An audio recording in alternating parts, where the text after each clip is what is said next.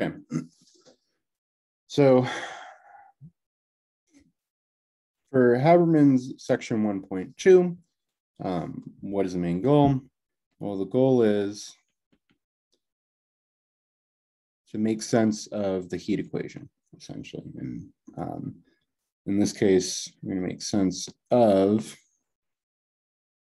du dt is equal to k d squared u dx squared. Um, here we're assuming that u is a function of two variables, x and t. Our interpretation is that x will be a spatial variable, okay? Um, and then t is going to be a time variable. Okay? Um, and so when I say make sense of this, what I mean is we're going to derive this equation and some variants of it from physical principles. Okay. Um, so let's get started. Okay, so motivating question then is how does heat conduct in a um, one-dimensional rod? Hmm.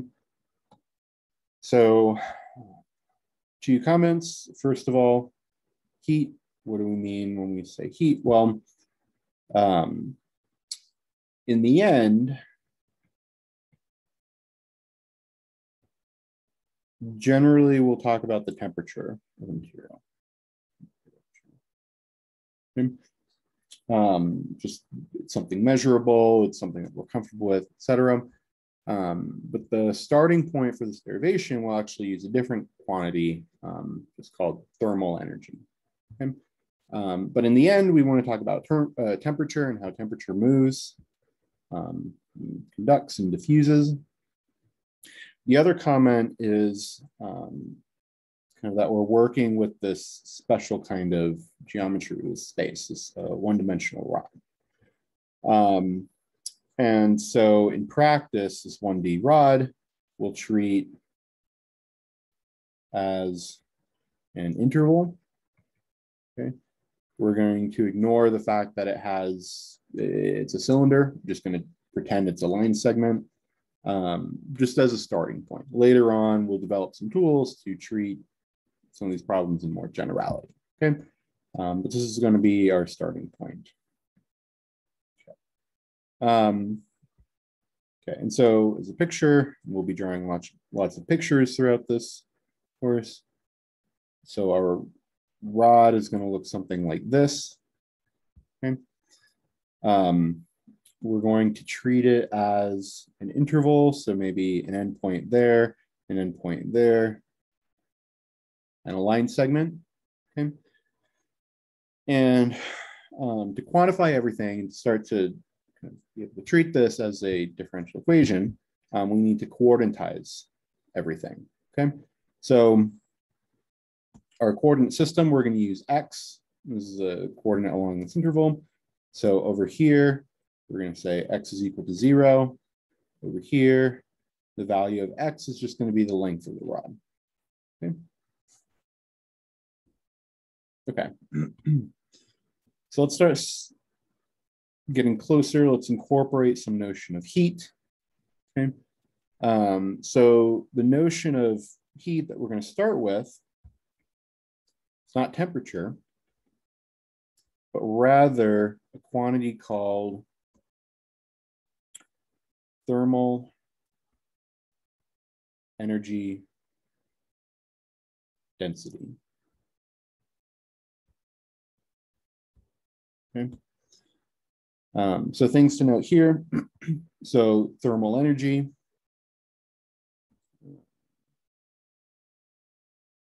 Thermal energy this is going to have units in joules, right? It's a form of energy. Um, the other piece is density.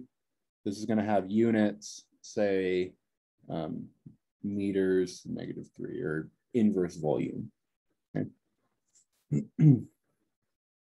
So in this derivation, so the fact that we're using inverse volume um, we are going to take into consideration kind of the, the three-dimensional aspect of the cylinder. Okay, um, but that's just for this quantity. When we actually go to solve um, and set up the differential equation, um, we'll be making a lot of assumptions to ignore kind of the, the um, what you might call the lateral aspect of this stuff. Okay. okay. Um, so let's give this quantity a name. We're going to call this E of xt. Okay. And my zoom seems to be frozen. Okay. And then E of xt is going to have units. Oh, there we go. Okay. E of xt is going to have units joules per meter cube. Okay. Okay, so question then is, so let me copy this diagram here.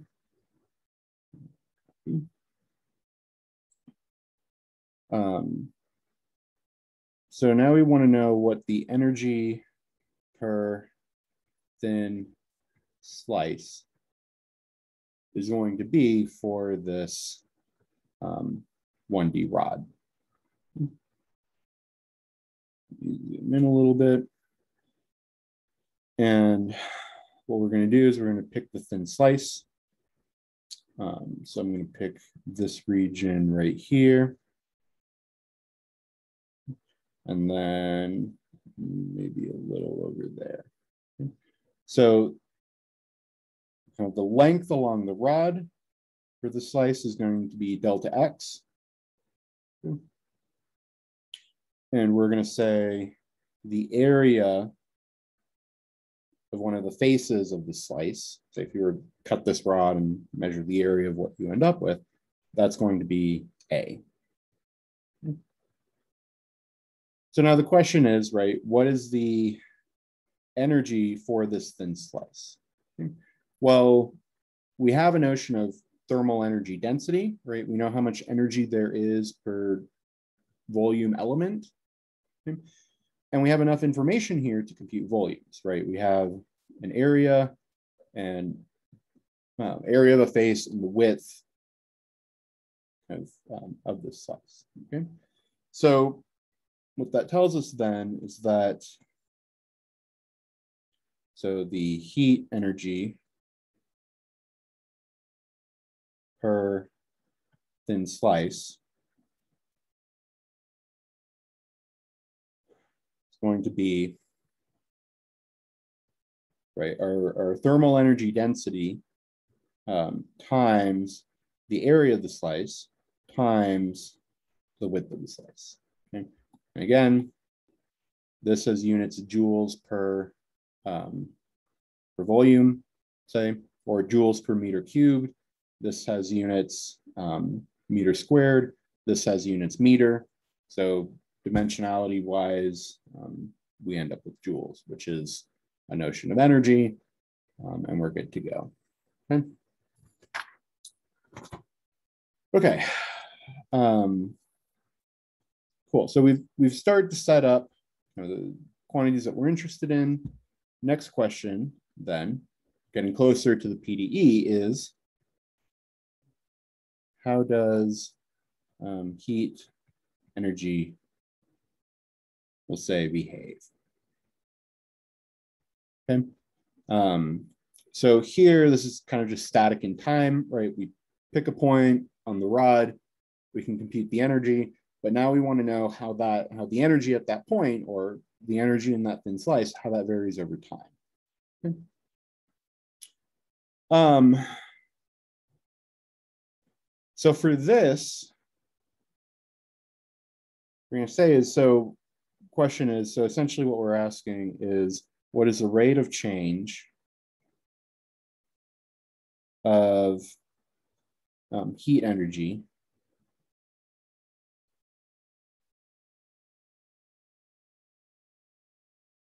in time?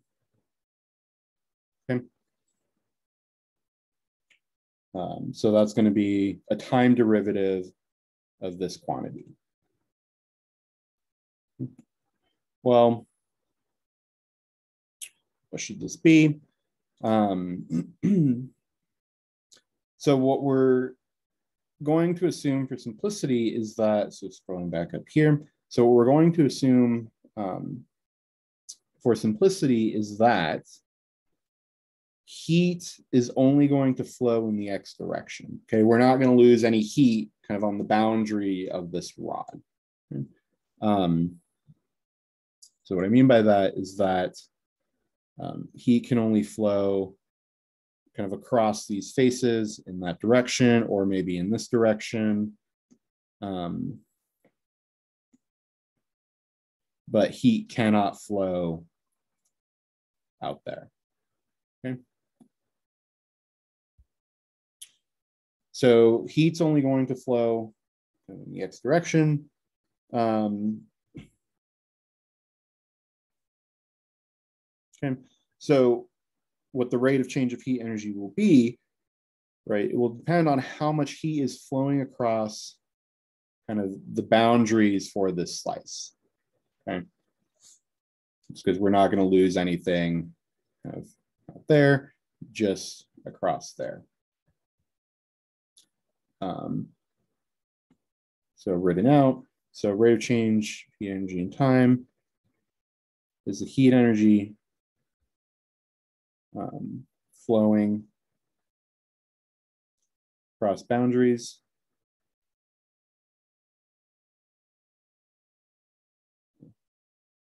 Time.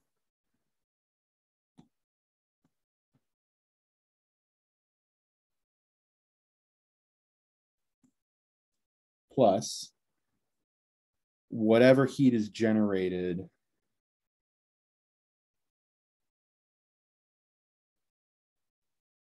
um, inside per time unit. Um, so this last term here, you can interpret this as either you have maybe like a chemical reaction within the rod, or as an approximation, you're holding a lighter to the rod or something like that. Okay. Um, okay, so this is how heat energy kind of will flow within the rod. Okay. Um, you're either going to lose things across the boundary for your slice, or you're going to have heat energy that's generated or lost, just uh, kind of appears or disappears within that slice. Okay. And so now what we want to do is quantify each of these things. So as I said before, um, so the rate of change of heat energy in time, that's going to be a time derivative. Okay of this quantity right here because this is that the total heat energy in the slice. Okay, so we want to take a time derivative of E of xt um, a delta x. That's going to be uh, this heat energy flowing across boundaries in time, which we'll come back to. Okay. Plus, um, heat energy generated inside. And so this, we're going to, we're going to use a black box function, say Q of xt, um, so that we're going to have as give units joules per um, meter cubed, um, just for simplicity. And so then what is the total amount of energy in that slice? Joules per meter cubed times meter squared times um, meter. So joules in the end. Okay. So we're almost there. Now we just need to figure out, right? We need to quantify what this heat energy flowing across the boundaries in time is. Okay. So for that, draw another picture. Okay. So this is the same slice from before. Say this is at coordinate x. This is at coordinate x plus small change delta x. Okay. Um, and so to quantify this heat flow, what we're going to do is talk about um, this notion of flux, say. So let me just go ahead and write it out and then I'll talk through it. Um, yeah, so how we're going to quantify the flow across the boundaries is via this quantity or this function we'll call phi, okay, which again depends on where you are and when you are. Um, say this is the flux. And this is just a general notion of how much energy or some quantity is flowing. Okay. And so, um, yeah. Okay. And so the units that we're going to use for this flux, so let me write it here. So phi is heat flux, or the amount that heat flows. Are the units? Thermal energy, so joules um, per time. So thermal energy per time flowing to the right per unit surface area or per meter squared.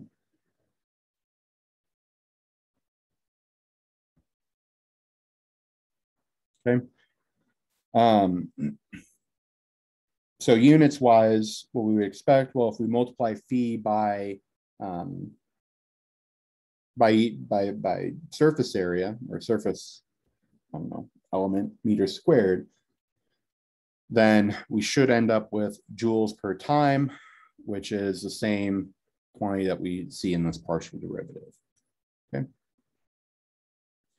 Um, and uh, phi is going to be a scalar. It's just going to output a number. And that's going to, so the value of phi xt, say right there, that's going to tell you how much heat energy is flowing into that point from the left. So left to right. Okay. If phi is negative, that means that heat is flowing from right to left. Okay.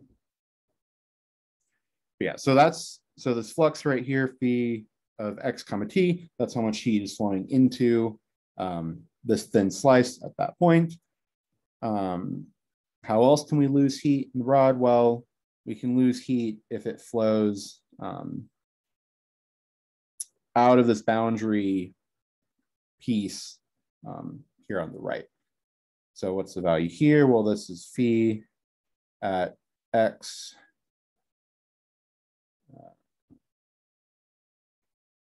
x plus delta x at whatever time.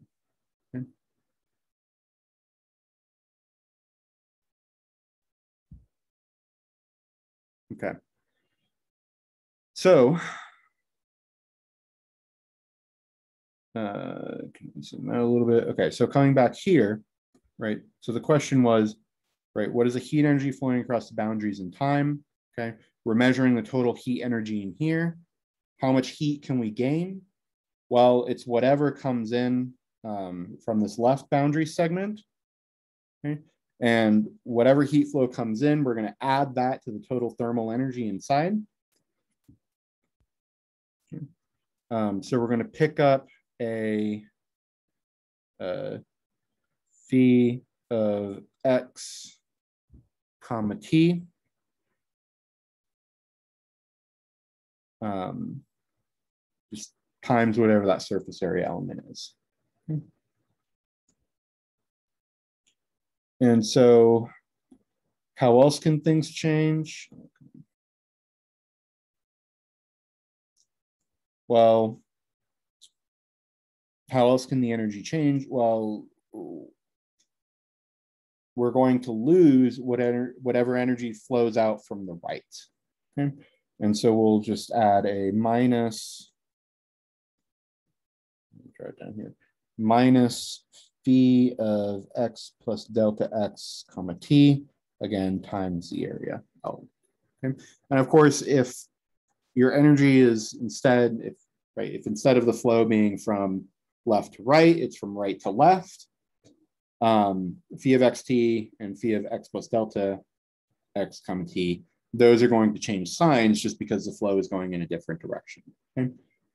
If phi of xt, um, if you have things flowing in from the left and the right, then phi of x plus delta x comma t, um, that's going to be positive. And so the thermal energy in your thin slice, that's just going to keep going up.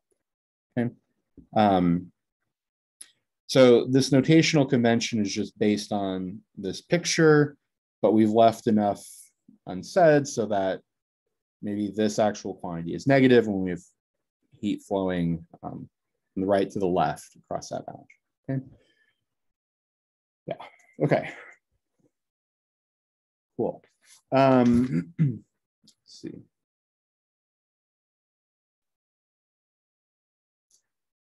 So this is kind of the first approximation, okay, to how heat energy flows.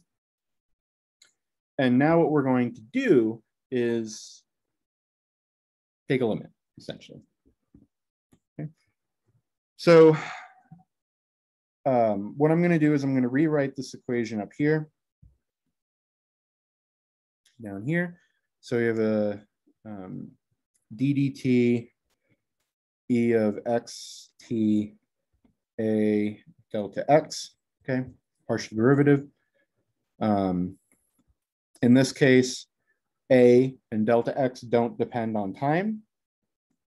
So this partial derivative just affects this e of x comma t. Hmm.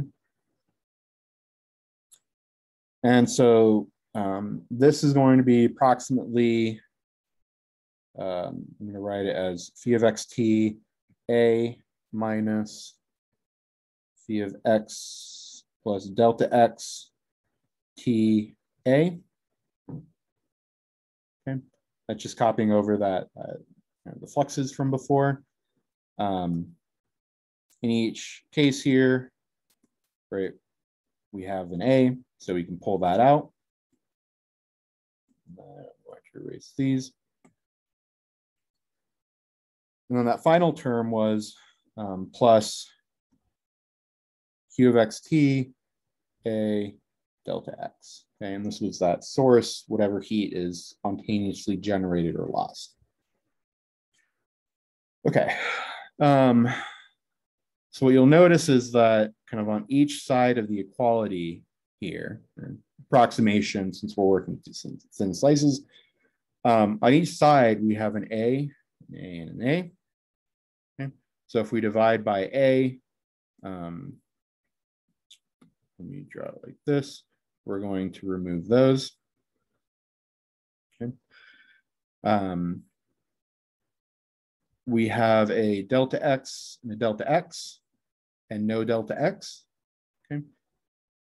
So if we divide by delta x, we're going to lose those two. And then over here, we're going to get an over delta x.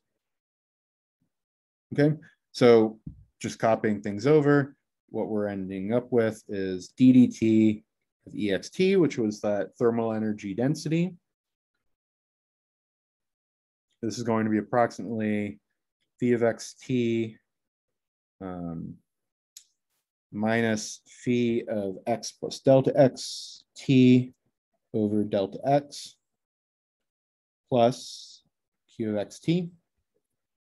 Okay. And that was our analysis for um, I still have it copied. Nice. Right, for this rod here, that was our analysis for kind of this thin segment right there. Okay. So then the question is, well, right, what if we have a thinner segment or an even thinner segment? Um, what if we let the segment get so thin so that we um, right? Really get to approximate that instantaneous change in energy. Well, that's a limit. Um, so, all right so for all of this as a limit, um, delta x goes to zero. What we're going to end up with then is ut e of xt, here the same term, um, this piece right here is almost the partial derivative in x of phi. It's just um, kind of we have that increment, that step forward on the other side. So I'll write it out minus um, d phi dx plus then whatever this term is, right? And so this negative sign comes because these two um, pieces are flipped according to the usual definition of derivative. Um, this is our starting point for um, everything else that we'll do here. So the remaining questions are, um, so this equation is in terms of kind of two unknowns, say. We have the thermal um, energy density, okay? and it also depends on flux. Okay? And so what we'd like to do is say, well, um, let's convert things so that um, instead of being in terms of thermal energy density, instead of being in terms of this unknown flux, we would like to describe things in terms of temperature, okay? And we would also like to figure out what this flux, like what it is. Can we describe this flux in terms of um, temperature or some other quantity? Um,